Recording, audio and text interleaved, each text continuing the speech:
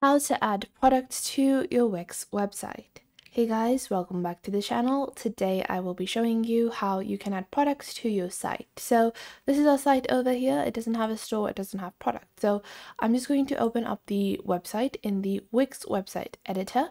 Once you have opened this up, you will be able to see the navigation panel on the left and you will click on add applications on the left side of your screen. Then you want to add store.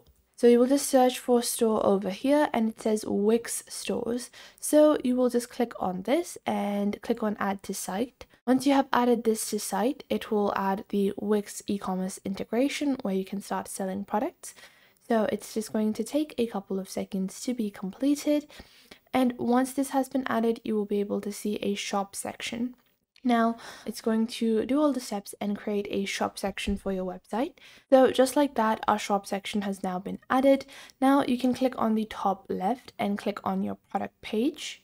So you will be able to see all these different sections. And if you click on your product page, you can see this is what your product page is going to look like. You can even click on the left side of your screen and you have your store pages. So first off, uh, we have our site menu, we have the shop page and the shop page is going to link to the product. Now, once you have done that, just click on save on the top right, save your site as it is. Then once you've completed it, you're going to go into the backend editor. So this is our site. We're going to select site and open up the backend dashboard of Wix.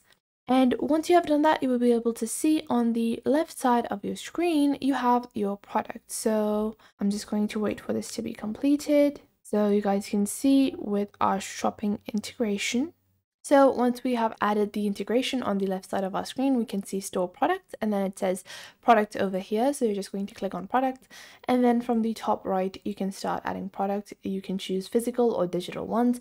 Uh, let's say it's a physical product, you're just going to click on that. And then in a very basic fashion, you're going to enter all the information about the product. So you can add images, you can click on add images, add videos and upload your own images or even upload media directly from Wix. So let's just say this is the product. And click on add to page. Then i will add the product name. You can add ribbons like new arrival hot seller anything like that. Descriptions and product options as well. In product options you have things such as your sizes and different colors and then your inventory and your products will be added to your store.